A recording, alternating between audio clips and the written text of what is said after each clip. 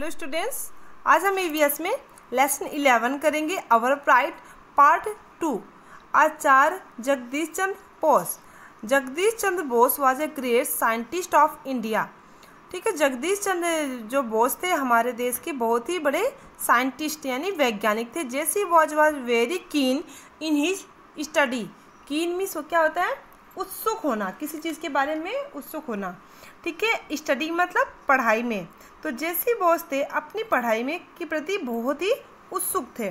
During ही childhood, उनके बचपन के दौरान ही स्टडीज़ रामायण एंड महाभारत। उन्होंने रामायण और महाभारत भी पढ़ी। He had a versatile personality versatile में होता है बहुमुखी, ठीक है? उनका व्यक्तित्व बहुमुखी था। आगे है he learn gymnastic and boxing also ठीक है? उन्होंने जिम्नास्टिक और मुक्केबाजी भी सीखी।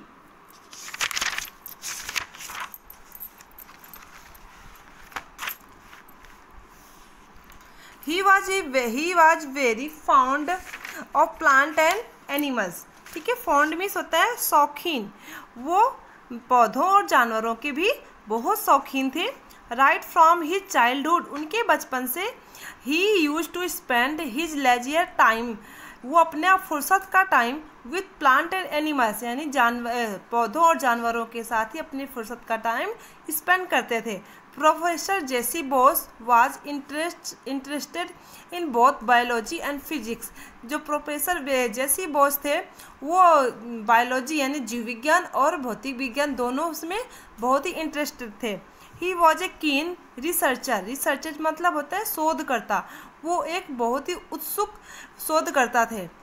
आगे यूजिंग इलेक्ट्रिक वेक्स ठीक है? विद्युत तरंगों का उपयोग।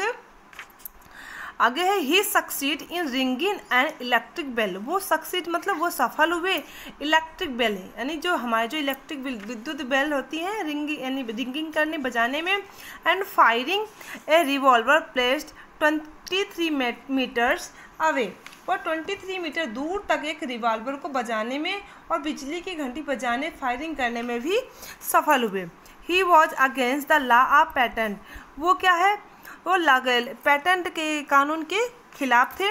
जैसी बॉस डोमेस्टिकेटेड यानी प्रदर्शन that plants to are sensitive to जैसी बॉस ने प्रदर्शित किया कि पौधे भी संवेदनशील होते हैं।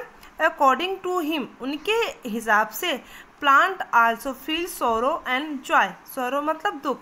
उनके हिसाब से पौधे भी दुख और आनंद का अनुभव करते हैं. Okay okay?